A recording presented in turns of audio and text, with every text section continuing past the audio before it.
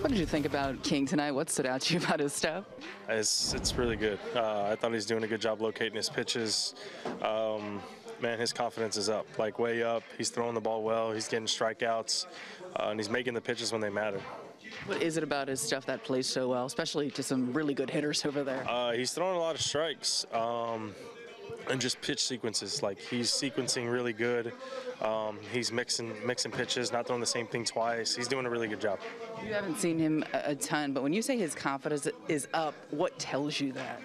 Uh, the way he's strutting off the mound when he strikes somebody out. I mean, as someone just asked me, like, man, King is dirty. And I'm like, yeah, he's, and I was like, was he not always like this? Like, and uh, I thought he was always like this. Like, coming out and getting to know him, I'm like, man, this guy's nasty, nasty. So he's doing a really good job.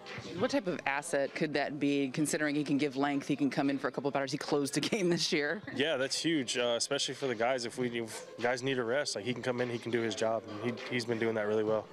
How much is confidence play in something like this? Because he's always had the stuff, but now he seems mm-hmm. to be. Yeah, I, it, maybe, maybe you know, maybe a good offseason for him. Maybe he's doing some other things, but he, it's definitely it's been really good, really, really good.